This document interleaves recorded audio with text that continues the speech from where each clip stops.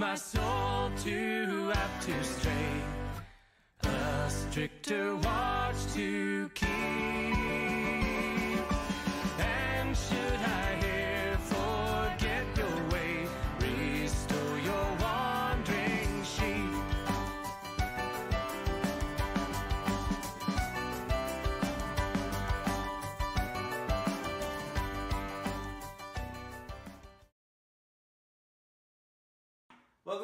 Once again. We have an opportunity to be taught by God's Word.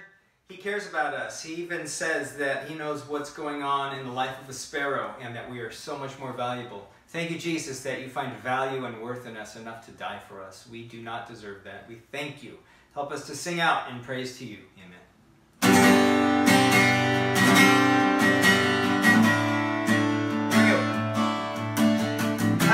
Here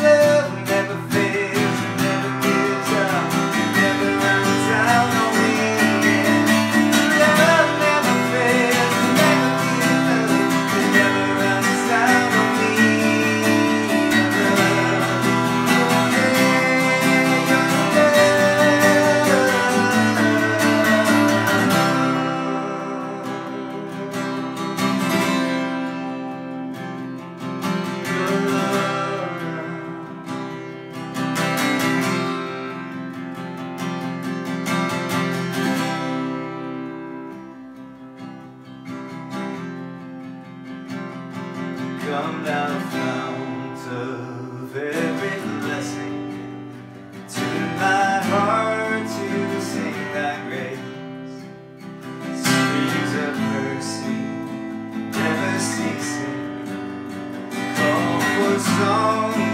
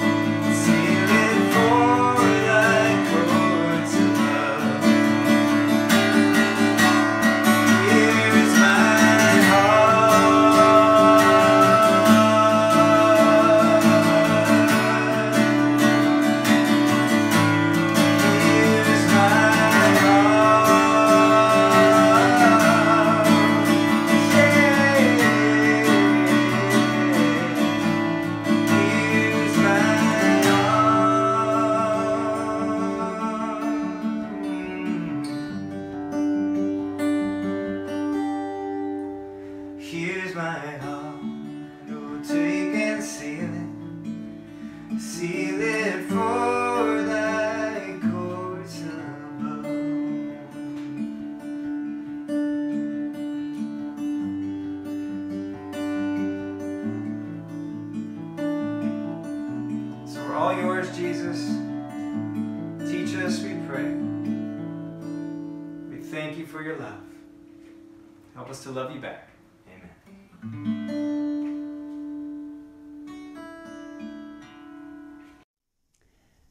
Good morning and welcome to worship.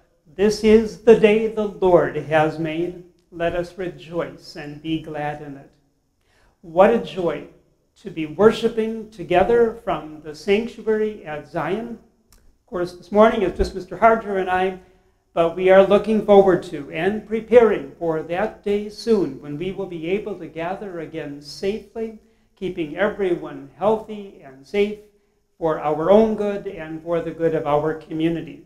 We will be sure to let you know as we progress toward that day.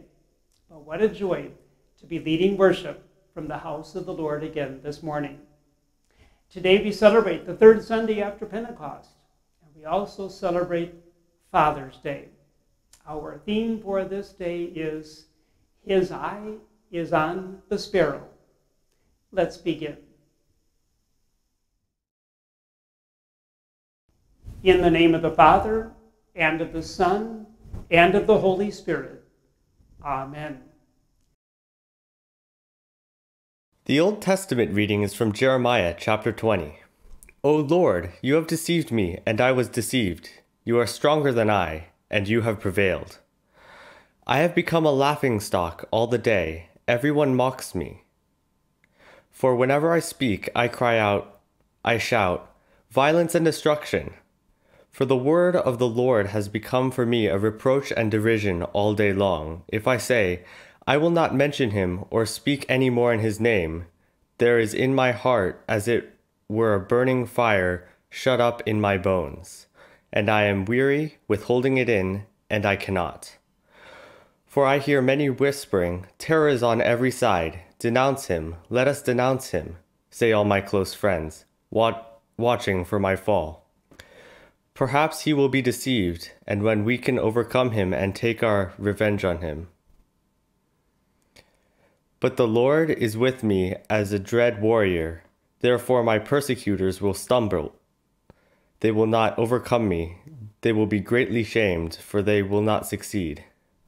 Their eternal dishonor will never be forgotten. O Lord of hosts, who tests the righteous, who sees the heart and the mind, let me see your vengeance upon them, or to you I have committed my cause. Sing to the Lord, praise the Lord, for he has delivered the life of the needy from the land of the evildoers. This is the word of the Lord.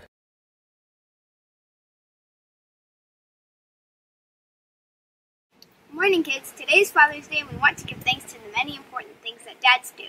We brought some things this morning that remind us of some of the things that dads do. This is a wrench. It can be used to fix stuff in the household.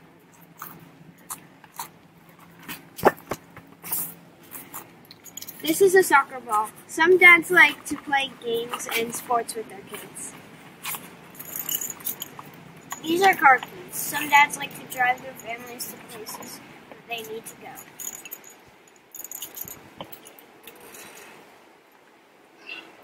This is a wallet. It has money in it that that dads use to buy things that they need, that their families need, like clothing, food, and other good things. This that is just a few of the things that dads often like to do. But each dad has their own special way of helping us out.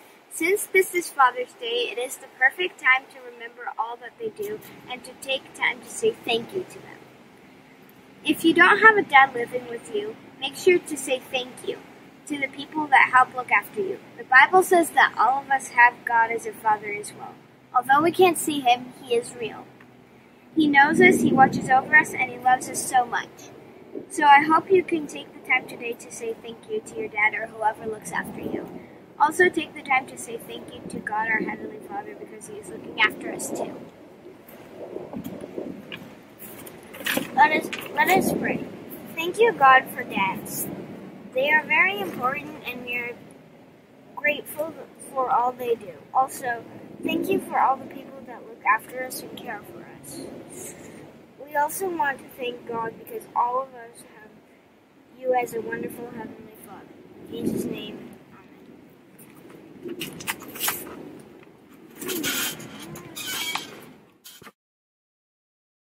Well, we want to give a shout out to all the dads out there, and we want to especially uh, be reminded that our Heavenly Father, He wants to adopt us. He wants to call us His kids. And when we receive Him and believe in His name, we are His kids. Thank you so much, Heavenly Father, for adopting us and making us your children. We thank you. Receive our praise. Amen.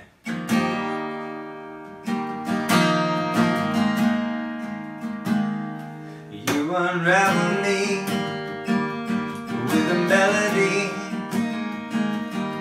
surround me with a song of deliverance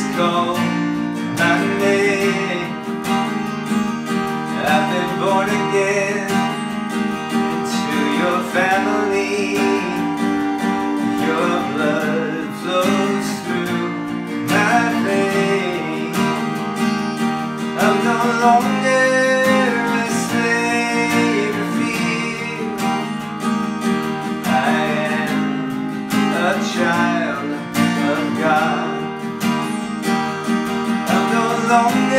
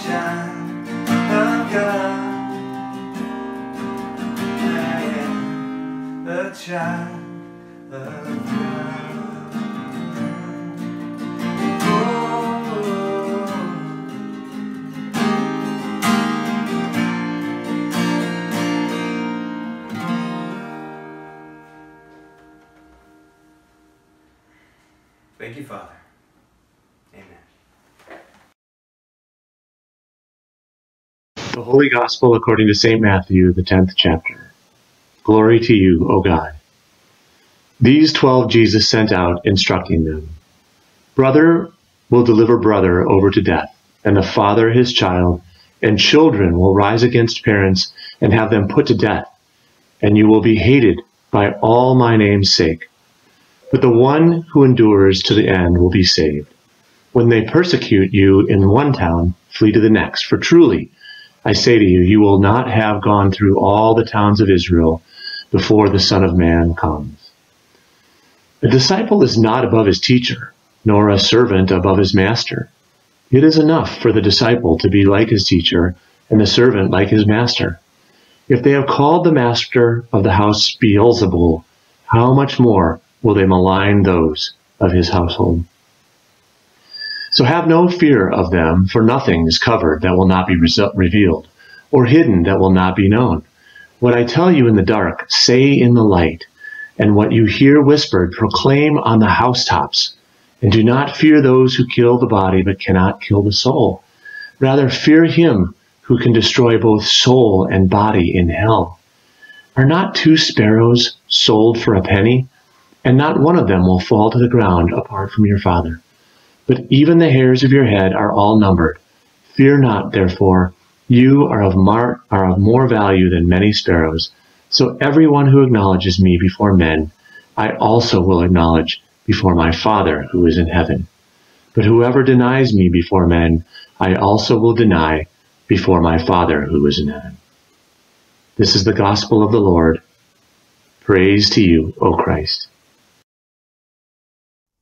Dearly loved and precious children of God, brothers and sisters in Christ, grace to you and peace from God our Father and from our Lord and Savior Jesus Christ. Amen. Well, it's great to be back in the pulpit again, bringing God's word to you from the beauty of Zion's sanctuary. If you weren't with us at the welcome to the service, we are back in the sanctuary, at least Mr. Harger and I, for our taping of our worship this morning. And we are also actively preparing for that day when God's people can gather again safely and smoothly in God's house for worship together.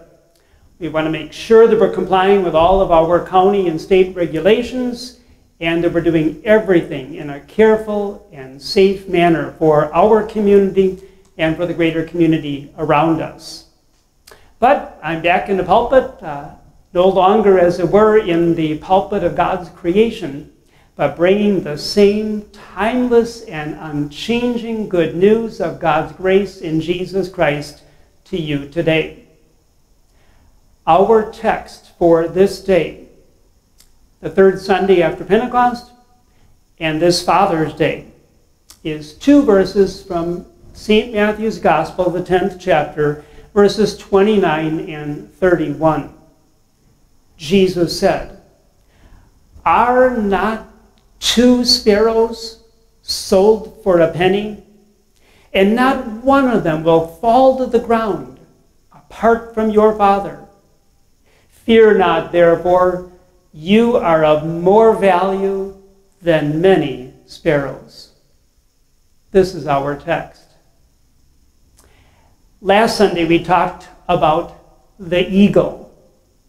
The eagle is that magnificent and splendid creature of God's special design, majestic in beauty and powerful in speed. God deliberately chose the image of the eagle to describe his caring love for his people, his protection and his provision for his people then and today. Last week we looked at Exodus chapter 19, verse 4, where God declared, I bore you on eagle's wings and brought you to myself. So great is the Father's love for us that He cares for us in every time of need and safely carries us to Himself to lead us through this earthly life to life eternal with Him in heaven. As God provided for His people in the Old Testament, so God provides for us today as well. Today, we have the opportunity to look at another creature from God's winged kingdom. But compared to the glorious eagle, this particular bird, you could say, is at the far other end of the spectrum. This bird is extremely common, the common sparrow. In fact, because of the sparrow's adaptability to a wide range of environments and locations, it is the most found and locatable bird all over planet Earth. You would be hard pressed to find anywhere a more familiar and ordinary bird than the common sparrow. And that is the precisely the point of Jesus' comparison. As in Exodus 19, verse 4, God chose one of his winged creation to describe his love for his people, so today Jesus as well picks up a bird from the other end of the spectrum also to describe his love and care for us. Jesus asked, are not two sparrows sold for a penny? The market value of sparrows was so low that even the smallest coin in Jesus' day would easily buy more than one of them. And yet they represent even so little value in the human economy, in God's economy his eye is on the sparrow. That is to say, not even a single sparrow, worth less than a penny, half a penny, falls to the ground apart from the Father's watchful eye and caring will. Jesus continued, Not one of them will fall to the ground apart from your Father. Not even the common sparrow falls to the ground apart from the love and provision of the creator of the universe. Well, what does that mean for us? Jesus explained Fear not, therefore, you are of more value than many sparrows. Reasoning from the lesser to the greater, Jesus assured his hearers and us that God the Father knows our needs and will provide for all of them according to his good and gracious will in Christ Jesus. Such is the love of our Heavenly Father for us. Today we celebrate Father's Day. We thank God for our earthly fathers, and we pray that God will bless our fathers with wisdom and patience, with grace and peace as they lead in Christ in their homes and in our world. And on this Father's Day, we also thank God that He is our loving Heavenly Father. God the Father protects us, provides for us, and blesses us with all that we need to know our Father in heaven and to glorify and honor His Son, Jesus Christ, in our lives on this earth. His eye is on the sparrow. And much more than that, his eye is on you and me. Jesus himself made it clear that God the Father delights to hear our prayers. and always responds in his perfect timing and according to his perfect will. In John 16, Jesus solemnly declared, Truly, truly, I say to you, whatever you ask of the Father in my name, he will give it to you. And again, in that day you will ask in my name. And I do not say to you that I will ask the Father on your behalf, for the Father himself loves you, because you have loved me and have believed that I came from God. Our Heavenly Father hears our prayers for Jesus' sake, who died for our sins and rose again for our justification. And so on this Father's Day, even as we honor our earthly fathers, we especially give thanks to God for our Heavenly Father. And we are reminded again that even as God provides earthly fathers to provide for our earthly needs, so our Heavenly Father graciously provides for all our needs of body and soul, now and forever. Dr. Martin Luther, in his explanation to the Lord's Prayer, wrote this Our Father who art in heaven. What does this mean?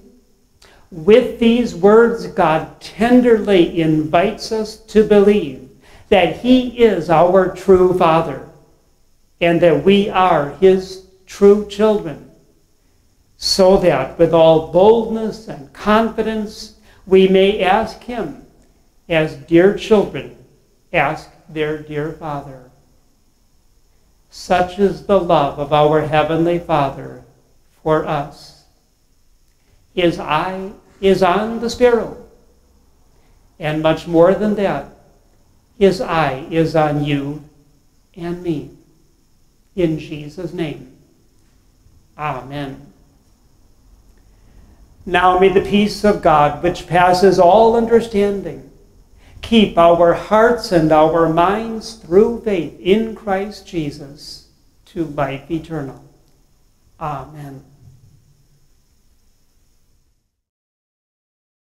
All right, let's give our all to the one who gave his all, Jesus.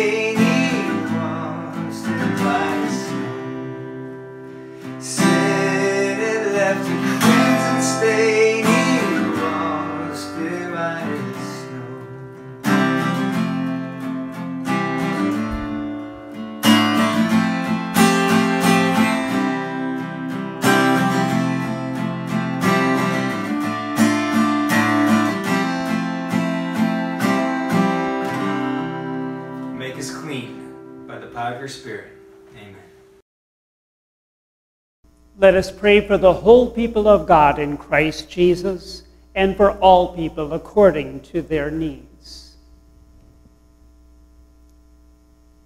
Faithful God, when we are fearful of the dangers of this life and weary of the struggle, you have been our shield and our strength. Grant to us the full measure of your grace to sustain us and help us to endure the trials and temptations of this earthly life and be faithful unto death. Lord, in your mercy, hear our prayer. Faithful God, we thank you that you care for all your creatures, large and small.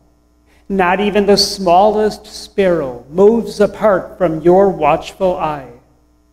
For your gracious promise that we are of more value than many sparrows, and that you provide for all our needs of body and soul. We give you our thanks and praise, and we place our lives into your all powerful hands. Lord, in your mercy, hear our prayer. Faithful God, Father of all and Lord of the family, on this Father's Day, we give you thanks for the gift of fathers, and we pray that you would bless all fathers with your Holy Spirit, that they may rejoice in your love and be filled with all patience, peace, and strength as they serve you and care for their families. Bless those fathers who have gone before us in the faith, and let their example inspire us as we serve you. Lord, in your mercy, hear our prayer. Faithful God, give healing and strength to the sick and to all afflicted in body or mind, and grant to those who struggle the gift of peace of mind and heart we pray especially for Barb Van Vossen, who is recovering from surgery last Monday, that you grant her peace of mind, healing of body, and full restoration of health and strength according to your will. Lord, in your mercy, hear our prayer. Faithful God, we pray for our national, state, and local leaders bless and guide them as they govern in these difficult days. We pray for all emergency responders, healthcare professionals, and social workers who are caring for those in need. Protect them and strengthen them as they serve our communities. Lord, in your mercy, hear our prayer. Into your hands, O Lord, we commend all for whom we pray trusting in your mercy through Jesus Christ our Lord. Amen. Taught by our Lord and trusting his promises, we are bold to pray. Our Father, who art in heaven, hallowed be thy name. Thy kingdom come, thy will be done, on earth as it is in heaven. Give us this day our daily bread and forgive us our trespasses, as we forgive those who trespass against us. And lead us not into temptation, but deliver us from evil. For thine is the kingdom, and the power, and the glory, forever and ever. Amen. The grace of our Lord Jesus Christ and the love of God and the communion of the Holy Spirit be with you all. Amen. All right, let's sing our closing song, the traditional closing song. To God be the glory. He deserves it. Let's sing to him. My friends, may grow in grace and in the knowledge of our Lord and Savior my friends